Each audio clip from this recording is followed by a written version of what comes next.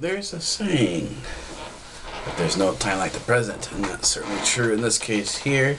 And this is uh, the first in uh, it's about three weeks, three four weeks of having vlogged. That's because I've been up north on a research expedition, and uh, it's taken me just about a week to sort of get everything organized and uh, get the BTS vlogs back on track.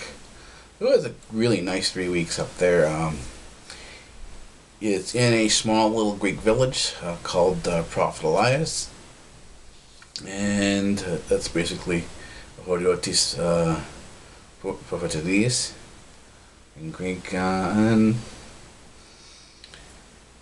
a really nice time up there. A lot, a lot of work got done. More, you know, enough work that I could say, uh, you know, that that's worthwhile. I'm going to be going back again. Uh, actually, for Labor Day weekend, I'm going back up there uh, to spend another five days.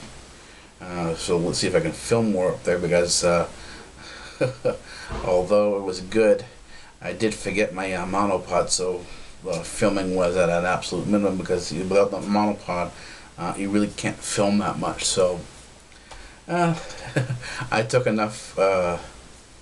You call them? Uh, uh, shots to see whether or not I want to film something more or, or little little bits here and there. So um, I'll do more of that up there uh, over later, the Labor Day weekend, and then uh, otherwise it's uh, back to the usual schedule. Uh, you'll notice some changing. I'll be doing some changing up over the week.